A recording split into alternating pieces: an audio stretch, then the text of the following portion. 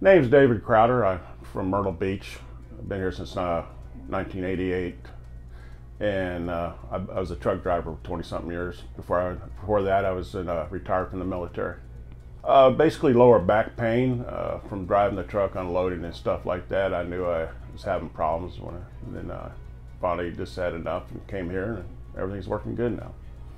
Before I came to Myrtle Beach Spine Center and seen Dr. Mike, I uh, I went to another chiropractor my wife was going to, and uh, but because I was a truck driver over the road, I didn't get to see him seriously.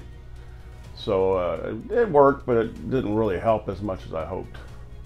The staff here, I mean, the office and everything has been great. People are really friendly. You walk in, they got the music playing. It's an uplifting atmosphere here. It makes you just feel good when you walk in the door here at Myrtle Beach Spine Center.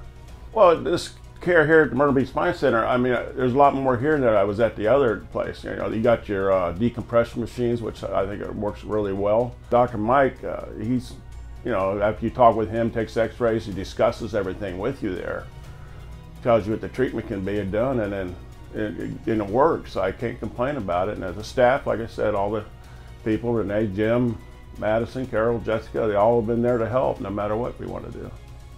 Dr. Mike is great. I mean, I, he's very, he listens to you, he'll answer all your questions.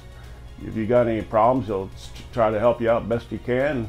And if he can, he'll go find the answer for you. I recommend him to anybody, all friends, family, you know, any acquaintances, anybody's having problems. This has been a great place to come to. And, and, and like I said, people are friendly. Dr. Mike's great. So I, I say come on down.